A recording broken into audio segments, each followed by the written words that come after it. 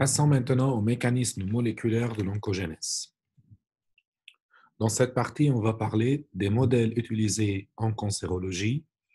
On va parler encore quels sont les gènes impliqués dans la progression tumorale, les proto-oncogènes, les gènes suppresseurs de tumeurs, quels sont les mécanismes moléculaires qui aboutissent à les altérations de ces gènes, qui sont les proto-oncogènes et les gènes suppresseurs de tumeurs, et quelles sont les fonctions de ces deux familles de gènes? Passons maintenant au modèle utilisé en cancérologie. On a deux modèles, un modèle qui s'appelle in vitro et l'autre qui s'appelle in vivo. Je pense que vous connaissez la différence. Un modèle in vitro, ça veut dire c'est en vitre, c'est dans les tubes, en laboratoire, sur les cellules, isolées. C'est pas dans un organisme entier. Par contre, un modèle in vivo, ça veut dire quelque chose vivant, c'est un modèle où on utilise les êtres vivants comme les souris, les chimpanzés, etc. dans nos études. Dans le modèle in vitro, là, ce système il a beaucoup d'avantages puisqu'on peut contrôler beaucoup des facteurs. C'est un système plus simple. Les facteurs extérieurs, environnementaux, on peut les contrôler facilement dans le milieu de culture où nos cellules se retrouvent. On peut rajouter des protéines, on peut faire des irradiations là-dessus, de la lumière UV. Après, on peut étudier qu'est-ce que s'est passé au niveau de ces cellules. Est-ce que ces cellules ont euh, rentré en apoptose? Est-ce que ces cellules en étaient pas touchées? Est-ce qu'il y en a des gènes qui s'étaient mutés, etc. Donc là, c'est un système simple, bon, relativement simple, euh, où on peut manipuler plusieurs facteurs, on peut changer plusieurs facteurs qui entourent les cellules et on regarde les facteurs, bien les influences de ces, de ces facteurs. Par contre, ce système, là, ce que vous voyez devant vous, par exemple, des cellules en culture, dans les flasques en plastique, comme vous voyez devant vous, ce qui est en rose, c'est les milieux de culture et à l'intérieur, on trouve les cellules. Par contre, le modèle in vitro, c'est vrai que c'est un modèle simple, qu'on peut manipuler les gènes, mais par contre, c'est un système qui est loin de, l'état naturel de la cellule. La cellule, elle vit jamais euh, isolée de son environnement, isolée de facteurs euh, environnementaux, des facteurs hormonaux, etc afin de regarder vraiment qu'est-ce qui se passe, on doit passer vers un système d'études in vitro. Là, par exemple, une des, animaux les plus utilisés dans les modèles in vitro, ce sont les souris. Par exemple, les souris nudes, qui sont des cellules, voilà, qu'ils n'ont pas un système immunitaire, on fait les greffés des cellules tumorales et on regarde comment ça se passe, on peut donner des traitements, on peut regarder l'évolution de cancer, etc. Plein de choses on a encore les souris transgéniques. Ça veut dire des souris où leurs gènes sont modifiés. On les a demandés avec modification précise de leurs gènes et on regarde au niveau de, l'organisme entier qu'est-ce que ces changements ont abouti. Ils ont donné à quoi? Est-ce qu'ils ont développé une tumeur? Est-ce qu'ils ont défendu le corps euh, de l'organisme contre le tumeur, etc. Donc ça diffère euh, d'une expérience à une autre, quels sont les gènes modifiés, qu'est-ce qu'on attend de ces changements des gènes. Là, par exemple, on a fait greffer des cellules tumorales euh, luminescentes dans une, souris euh, nude, et là, vous regardez, on pouvait suivre l'évolution de ces cellules. On a regardé, par exemple, que ces cellules ont une ou bien une caractéristique métastasique, il y a un potentiel métastasique. Les cellules ont quitté leur foyer de greffe et ils ont envahi d'autres tissus de corps. Donc là encore, dans d'autres expériences, on peut regarder, sans rentrer trop dans le détail dans des expériences, on peut regarder même l'angiogenèse, s'il y en a de formation des nouveaux euh, vaisseaux sanguins dans ces souris les pauvres souris. Dans le modèle in vivo encore, on peut après récupérer les cellules et de repasser vers un modèle in vitro. Donc, pour simplifier les choses, on a euh, commandé une cellule, une souris euh, transgénique. on a fait notre expérience là-dessus, on a essayé par exemple un nouveau traitement.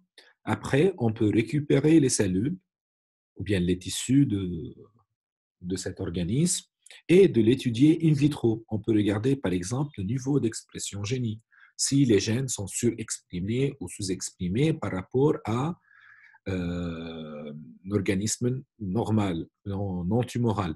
Par exemple, là, on regarde les récepteurs d'estrogène dans des cellules tumorales et ça, vous voyez, par exemple, dans les, dans les cellules normales, il n'y en a pas des récepteurs d'estrogène. Par contre, dans les cellules tumorales, on a trouvé plus de 90% des récepteurs exprimés sont des récepteurs de l'estrogène. Alors là, l'estrogène, au, niveau d'un tumeur du sein, il joue un rôle très très important euh, qui va favoriser la, prolifération cellulaire, par exemple. Là, à partir de cette expérience, on peut constater que l'estrogène, il joue un rôle. Là, il y a une différence entre une cellule normale et une cellule cancéreuse, euh, tumorale. Là, comment il fait, comment il agit, ça c'est une autre étude. Mais à partir de cette simple étude, on peut constater qu'il y en a une différence au niveau d'expression, au niveau de la quantité des récepteurs d'estrogène trouvés. Donc, on peut euh, déduire certains rôles de ces récepteurs. En même temps, on peut regarder le niveau d'expression qu'on a dit d'ADN, euh, donc la quantité d'ARN. Sans rentrer en détail dans une puce ADN, comment on peut l'analyser, ça c'est quelque chose euh, bon, que vous n'êtes pas responsable de la comprendre. C'est un simple processus, une expérience qu'on peut regarder à quel niveau chaque gène est exprimé. Chaque gène, il a exprimé quelle quantité d'ARN. Maintenant, quels sont les gènes impliqués dans la progression tumorale? Donc, comme on a dit, il y en a deux grandes familles qui sont impliquées dans le processus tumoral. On a la famille des oncogènes et la famille des gènes suppresseurs de tumeurs. Donc, les oncogènes sont tous les gènes qui favorisent la réplication, la prolifération cellulaire. En cas d'une cellule cancéreuse, on aura une gain de fonction. Ces gènes possède un gain de fonction, il possède une fonction, une activité plus importante qu'une cellule normale. Par contre, les gènes suppresseurs de tumeurs, depuis leur nom, ce sont des gènes qui sont responsables d'arrêter la prolifération, la progression d'un tumeur. Là, euh, dans ce cas-là, ces cellules, ou bien ces gènes, pardon, euh, ils vont avoir une perte de fonction. Ils vont arrêter de se fonctionner. Donc, dans une cellule tumorale, les oncogènes possèdent une gain, un gain de fonction et les gènes suppresseurs de tumeur possèdent une perte de fonction. Donc, proto-oncogène, pourquoi on l'a appelé proto-oncogène ou pro-oncogène? Ça veut dire c'est un gène qui est actif dans une cellule normale. C'est une gène qui est importante pour que la cellule normale rentre en prolifération. Mais lorsque cette, euh, ce gène-là, elle sera mutée ou altérée, elle aura une gain de fonction, elle sera plus active et elle induit d'une manière plus importante la prolifération cellulaire. Ce qui est le cas complètement inverse, une mutation dans un gène suppresseur de tumeur dans une cellule cancéreuse va lui permettre de perdre sa fonction complète on a une protéine qui est absente ou non fonctionnelle. Là, on a besoin que les deux allèles de l'anti-oncogène doivent être, altérés afin que cette protéine, ou bien que cette, que cette protéine, voilà, elle sera inactive. Ça, ce qu'on appelle une altération biallélique.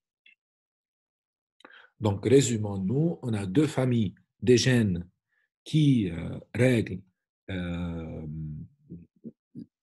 le processus et la progression euh, de la tumorogénèse, les suppresseurs de tumeurs et les proto-oncogènes. Dans les gènes suppresseurs de tumeurs, on a deux types de gènes.